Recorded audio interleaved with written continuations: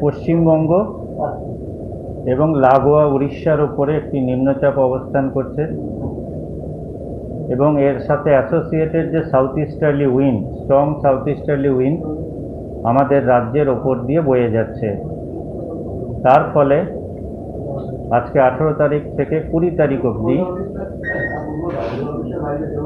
দক্ষিণবঙ্গ এবং উত্তরবঙ্গে দু জায়গাতেই কিন্তু সমস্ত জেলাতে থান্ডারস্টর্ম অ্যাক্টিভিটি সাথে লাইটনিং এবং সঙ্গে হালকা থেকে মাঝারি বৃষ্টির সম্ভাবনা থাকছে। আঠেরো থেকে কুড়ি অ্যাজ এ হোল পশ্চিমবঙ্গের ওপরে, অর্থাৎ উত্তরবঙ্গ, দক্ষিণবঙ্গ সব জায়গাতেই।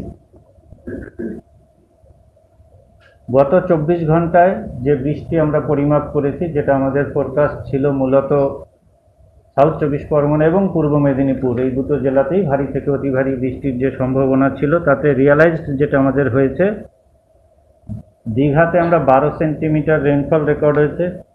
আমি সব সেন্টিমিটারে বলছি। ক্যানিংয়ে এগারো, ডায়মন্ড হারবারে দশ, সাগর আইল্যান্ড, মিদনাপুর আট কলাইকুণ্ডা কাথি, হলদিয়া সাত, দমদম, ব্যারাকপুর এবং পানাগড়ে পাঁচ সেন্টিমিটার করে। এগুলো সিগনিফিকেন্টগুলো আমি বললাম। এছাড়া ওভারঅল সমস্ত জেলাতেই কিন্তু মাঝারি বৃষ্টি হয়েছে। ওয়ার্নিং এবার সাউথ বেঙ্গলের জন্য আজকে যেটা আমরা ইস্যু করছি, সেটা হচ্ছে আজকে আঠারো তারিখ। আঠারো তারিখ উপকূলবর্তী দুই মেদিনীপুর এবং দুই চব্বিশ পরগনা, সাথে কলকাতা, হাওড়া এবং ঝাড়গ্রাম। এই জেলাগুলোর দু এক জায়গায় ভারী থেকে অতি ভারী বৃষ্টির সম্ভাবনা থাকছে।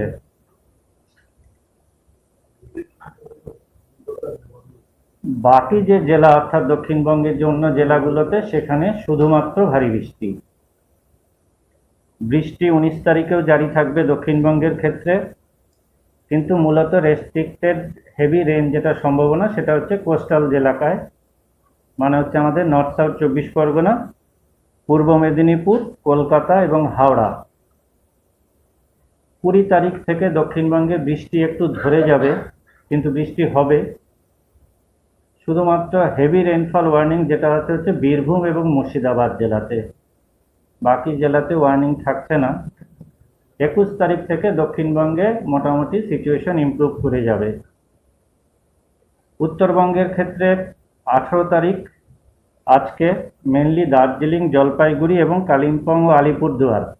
এই চারটে জেলাতে দু এক জায়গায় ভারী বৃষ্টির সতর্কতা থাকছে। উত্তরবঙ্গে বৃষ্টি সিগনিফিকেন্টলি বাড়বে হচ্ছে উনিশ তারিখ।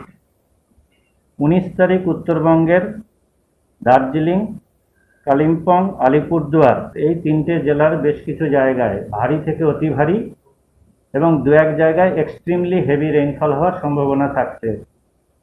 বাকি যে জেলা অর্থাৎ জলপাইগুড়ি এবং কুচবিহার সেখানে ভারী থেকে অতি ভারী এবং নিচের যে তিনটি জেলা অর্থাৎ মালদা এবং দুই দিনাজপুর সেখানে শুধু ভারী বৃষ্টি। অর্থাৎ উনিশ তারিখ কিন্তু উত্তরবঙ্গের প্রায় সমস্ত জেলাতেই ভারী থেকে অতি ভারী এবং দু একটি জায়গায় এক্সট্রিমলি হেভি রেনফলের সম্ভাবনা থাকছে। কুড়ি তারিখ বৃষ্টি বাড়বে হচ্ছে একটু আলিপুরদুয়ার এবং কুচবিহার এবং লাগোয়া জলপাইগুড়িতে। সেখানে দু এক জায়গায় ভারী থেকে অতি ভারী বৃষ্টির সম্ভাবনা থাকছে। আঠেরো তারিখ আজকে মূলত উপকূলবর্তী অঞ্চল অর্থাৎ দক্ষিণ চব্বিশ পরগনা, পূর্ব মেদিনীপুর কিছুটা, পশ্চিম মেদিনীপুর এবং ঝাড়গ্রাম। সেখানে এবং পার্টস অফ সাউথ ক্যালকাটারও একটু পেছনের অংশটাতে। সেখানে কিন্তু একটু গাছটি উইন্ড অর্থাৎ দমকা বাতাস। আবারও বলছি, ঝড় নয়, ঝোড়ো বাতাসও নয়, হঠাৎ হঠাৎ কখনো সখনো একটু দমকা বাতাস thirty to forty kilometre per hour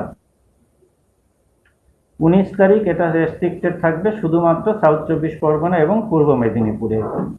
যেহেতু উনিশ তারিখ অবধি উপকূলে এবং সংলগ্ন যে সামুদ্রিক অঞ্চল, সেখানে স্কোয়ালি ওয়েদার থাকবে।